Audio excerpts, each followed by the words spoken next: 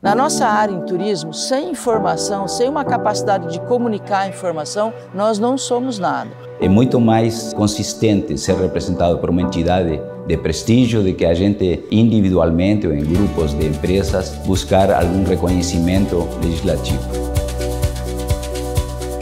A gente se sente representado quando a gente precisa desse apoio, percebe o trabalho que é feito pela Fé Comércio, pelo SENAC, pelo SESC. Ela abre as portas para a gente, ela consegue nos conectar tanto com a entidade pública, fortalecer a entidade privada. E a retomada econômica se deu muito em cima desses benefícios conquistados através do apoio e da condução da Fé Comércio. Então são algumas formas que você se interliga nessa parceria e que elas são bem representativas e bem significativas. Eu fico muito feliz, fico lisonjeada de fazer parte da Fé Comércio e da CNC.